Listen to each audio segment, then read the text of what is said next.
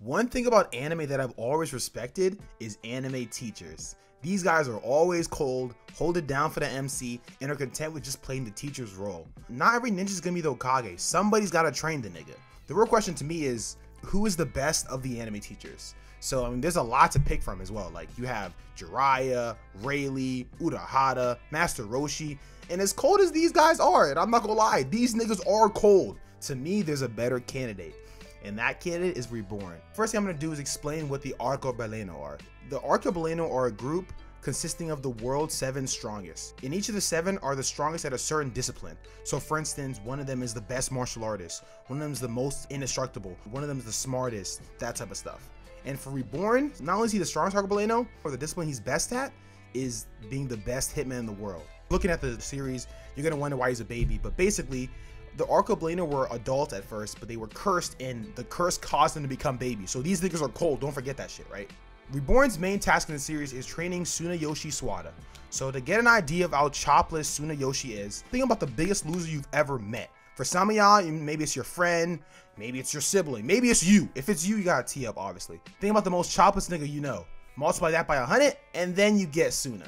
So I'm talking about no Riz. He's not good at sports. He has no friends. He's terrible at school. Like this is the definition of not that guy. If you ever had a trash ass teacher in school, you know that sometimes it's not necessarily the difficulty of the lesson, but sometimes just the, the method of teaching.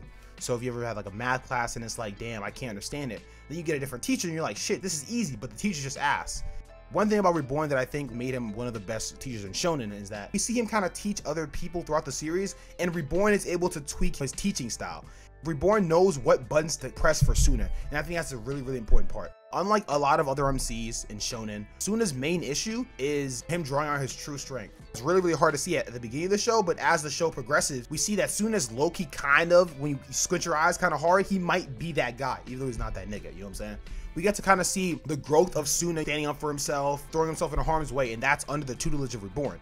In the last arc of Katsuhiro Reborn, we have the other Arcobaleno, and basically they join this representation battle for the sake of breaking their curse. But we learned during the arc that Reborn's entire purpose for him joining the battle is just to see Tsuna grow and develop more.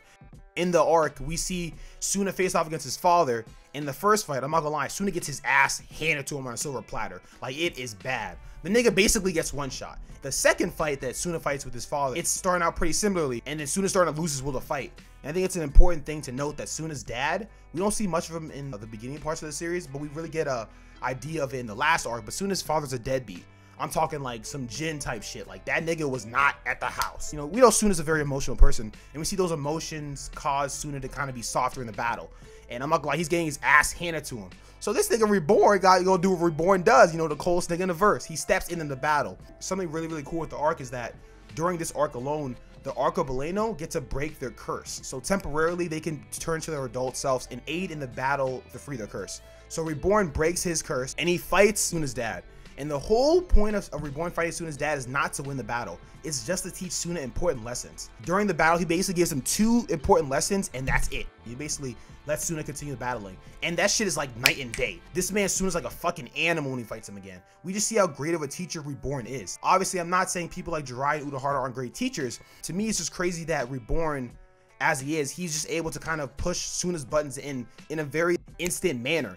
Like it's even noted by the main villain of the arc. Throughout the entire series, the main villain basically points out that Reborn has been the one severely speeding up Tsuna's growth. One of my favorite moments in the series with Reborn involves the one time he actually didn't believe in him. We find out about the truth of the Arcobaleno, and then after the truth that Reborn learns from Bermuda, he basically figures out that no, no matter what happens, the Arcobaleno are, are doomed to die a dog's death, essentially. Like, these niggas are going to die. It's not going to be pleasant. After learning the truth, he basically tells Tsuna, there's no way you can beat these enemies. And Tsuna kind of retorts like, bro, I don't understand. You've always believed in this whole time. And Reborn's like, yeah, I believed in you because I knew you could do it, even when you couldn't. But this time, I don't think you could do this shit, so just stop. It's actually crazy because we get to see Tsuna kind of like pull this shit up and, and be a real nigga. If you don't know, this whole series is about Tsuna becoming the mafia boss, and that is Reborn's mission. And obviously, throughout the series, throughout the arcs, we see Tsuna doing it little by little. But to me, the moment when he does some real Vongola boss type shit is right here. He gathers all the people we've seen throughout the entire series, from friends, former enemies, basically every prominent character we've come across, Tsuna basically unites them. When you think about what a Vongola boss is for the series, that is what Tsuna's supposed to do. We even get a panel where Tsuna basically had everyone from Italy under one roof.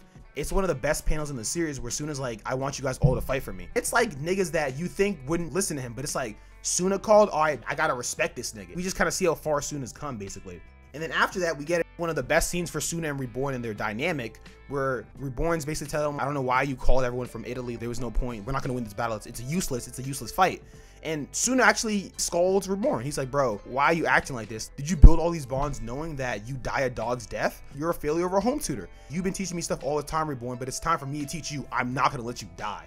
Obviously, shout out Tsuna because that's some real nigga shit.